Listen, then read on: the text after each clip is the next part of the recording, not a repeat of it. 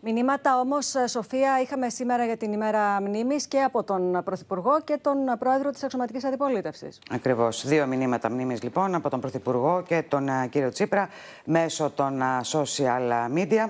Ο Κυριάκος Μητσοτάκης uh, γράφει χαρακτηριστικά στο μήνυμά του 106 χρόνια από το έγκλημα του 1915.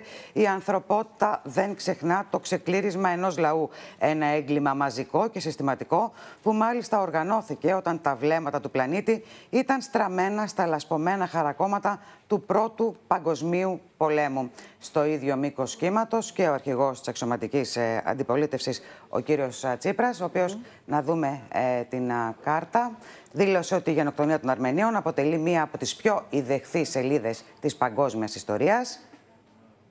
Ζωντανή στη μνήμη των Ελλήνων που συνδέονται με τον αρμένικο λαό με δεσμούς αιώνων. Ε, όλη η πολιτική ηγεσία αναφέρεται, μήνα όπως βλέπεις, στις στενές ιστορικές σχέσεις που διατηρεί εδώ και αιώνες η Ελλάδα με την Αρμενία. Σωστά.